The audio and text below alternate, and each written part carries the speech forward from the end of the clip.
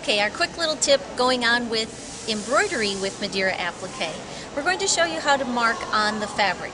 Just using a standard marking pen, the blue washout marker, I always put a light spray of starch on top of the fabric first because then the mark that you're going to place on the fabric is going to rest on top of the starch and not be absorbed into the fabric. It makes it much easier when you're ready to wash it out. Simply place your mark